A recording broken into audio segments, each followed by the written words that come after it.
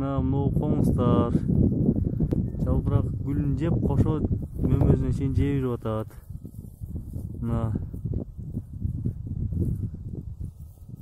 Бул айрым мына могу комуз